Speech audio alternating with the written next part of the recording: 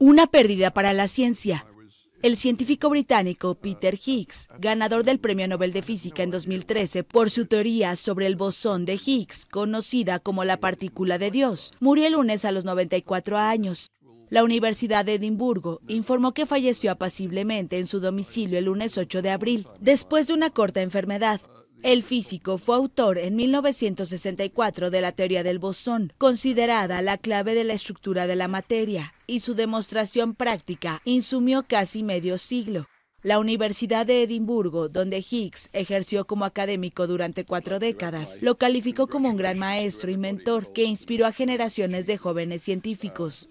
Higgs recibió el Premio Nobel de Física en 2013 junto al belga François Englert por su trabajo de 1964, que sentó las bases teóricas que llevaron décadas más tarde a la identificación del bosón.